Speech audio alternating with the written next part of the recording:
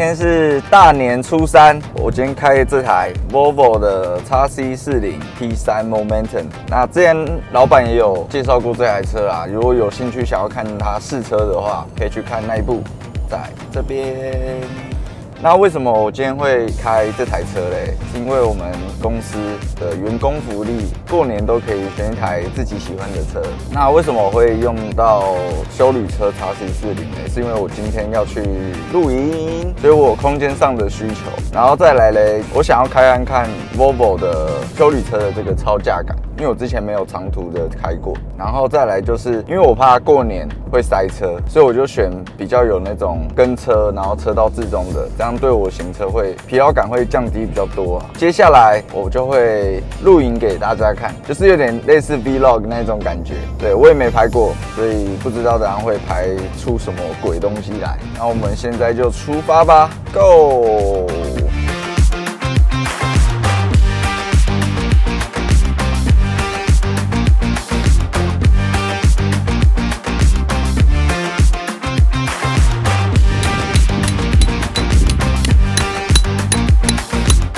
耶！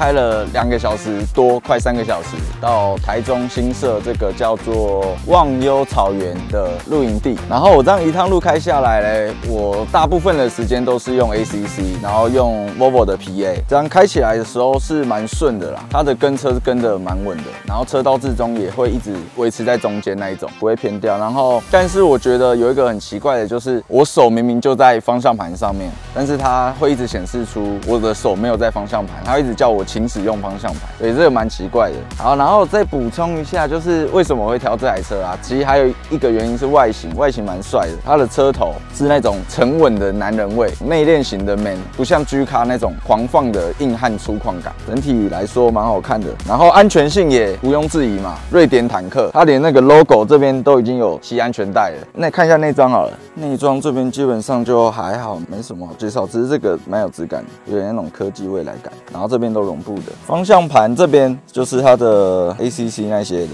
然后跟近跟远哦。然后有点奇怪的是，它的那个 Apple CarPlay 啊，它不能全荧幕哎，我以为它的全荧幕都是 Apple CarPlay 的荧幕显示，没有，它只是一半而已。然后这边有个小垃圾桶，所以我个人是不会用啊。如果我只会丢这种干的，如果湿的话我就不会丢哦。然后我们来看一下它的后座，我把它倾倒的那种平整度。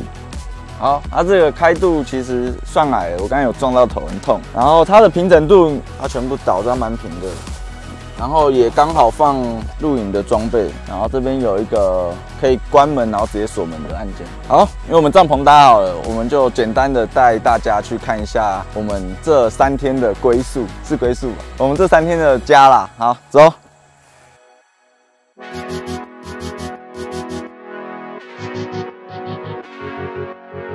耶，这就是我们的家。我们搭这个帐篷啊，这是搭那个六角天幕帐。我们现在是把它前后都打开，空气就可以通风。那晚上的时候，我们就会全部拉起来，然后用一个小帐篷，没有，我们没有用它原本那种吊挂的，两个人就可以睡。然后呢，晚餐我们今天会煮西班牙海鲜炖饭跟那个意式烘蛋，大家就可以看到我们在煮菜。个人是平常没有什么在煮菜，就只有录影的时候会煮一下。然后嘞，跟你们介绍一个很好的东西，这个锁耳箱，它本来都是这样用开的嘛。然后我去买了滑轨，它就变这样。如果要拿东西，我就不用一直开那个盖子，它就直接滑开，然后就可以放一些东西零食，可以收纳。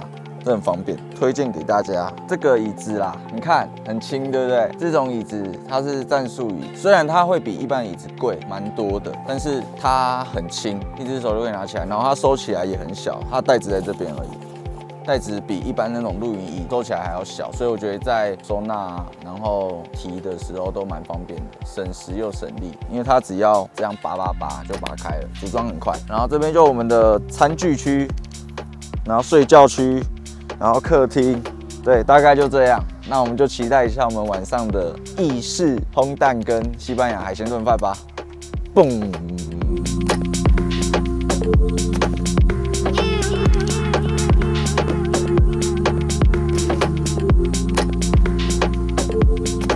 耶！我们刚刚已经把料都备好了。我们备料有番茄，然后洋葱跟蒜头。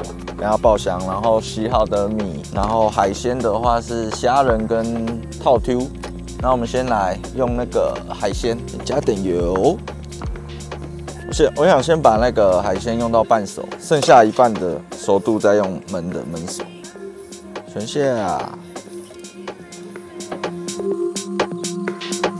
海鲜差不多可以全盘了。哎，这我第一次做，哎，不知道好不好吃。可是我觉得可以在山上吃到白饭跟海鲜就很爽，因为通常煮那个白饭都蛮比较困难一点，通常都煮面比较多。好，盛好的海鲜放旁边，现在要来爆香，全部加下去，然后炒到那个出水，出水以后，等一下再把海鲜还有米放进去，然后再焖煮就好。鲜，然后加白米，洗过的哦，然后是把水沥干的。然后加水，哦对，还有这个菇类放上去，然后加盐巴，然后加黑胡椒，然后加一点那个迷迭香叶，然后忘记我们忘记买那个柠檬了，所以就没关系。然后我们就给它焖起来，焖个十五分钟。好，等十五分钟。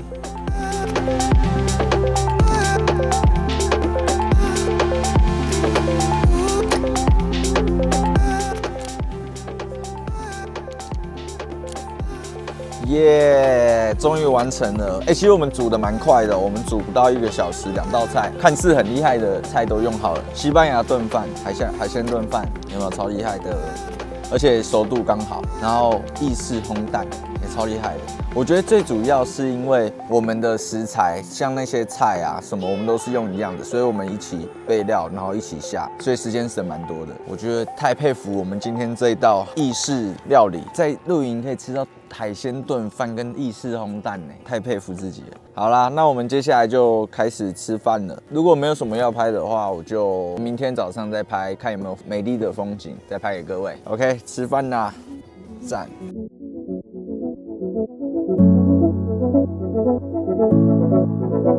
耶，大家早安！今天是第二天的早上，我们做那个早午餐。但是已经变午餐了，因为我们睡到十一点才起床，我们就准备了欧姆蛋，然后薯块，然后热狗跟面包，然后还有把它煎到很脆的培根，然后拿铁，拿铁我们是用那个胶囊咖啡浓缩直接倒进去就好，然后 yogurt。好，那我带大家看一下我们早上的风景长怎样。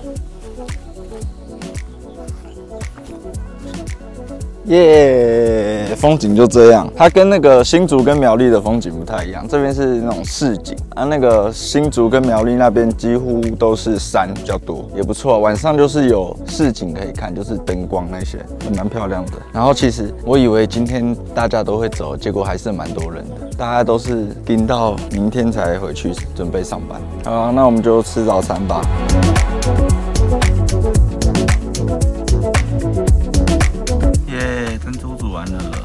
泡茶，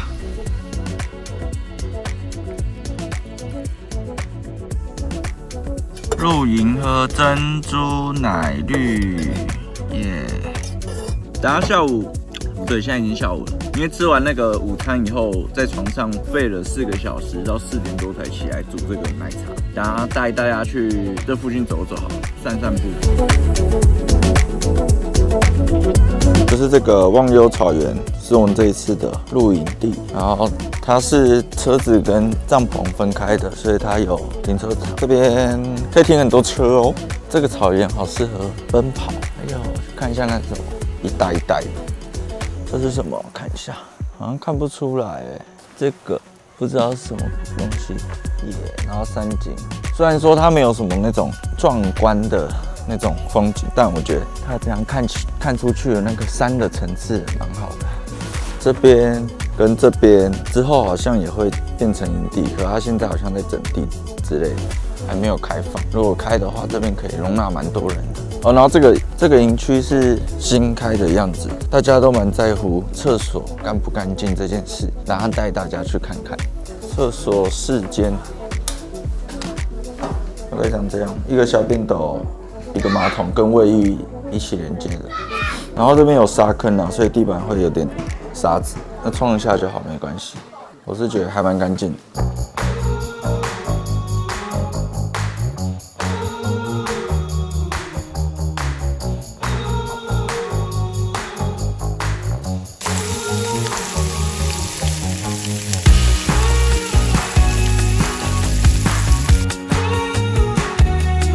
耶！第二天晚餐，西式的牛排，然后炒菇，还有煎蒜头、节瓜，还有那个玉米笋，然后还有自己做的薯泥，奶油薯泥，然后来吃看看牛排。牛排感觉是有煎，有点过熟了，可是还是你看，还是有一点那个血色，大概七分熟。我吃下。我觉得这种肉啊，就是要趁热吃，不能让它冷掉，冷掉它会变硬。蛮好吃，有奶香，我用那个。奶油煎的。那今天第二天呢，基本上我的露营行程就到这边结束了。因为明天第三天就是早上就是东西收一收，就要赶快回台北了。因为我怕过年那个塞车很可怕。那节目就会到这边做一个结尾。那如果你喜欢这种突如其来的露营系列，或是有什么不一样的题材，都可以告诉我们。那如果喜欢我们这种影片的话，也请大家按赞、留言、分享、开启小铃铛。希望我们可以下次见，拜拜。一定很多人说，为什么这个录影片都在煮东西？对，没错，因为我个人录影的话，都是在煮东西。我跟朋友一起录影也，他们也都是在煮东西。因为我实在不知道，因为他周遭没有什么特别的步道或是景点可以拍给大家看。那如果大家有在露营的，有推荐的露营地，都可以下方留言告诉我，那我都可能会一一一个一个去踩点。那如果你喜欢我我们的影片，请按赞、留言、分享、开启小铃铛。我们下次见，拜拜，peace，peace。乐福。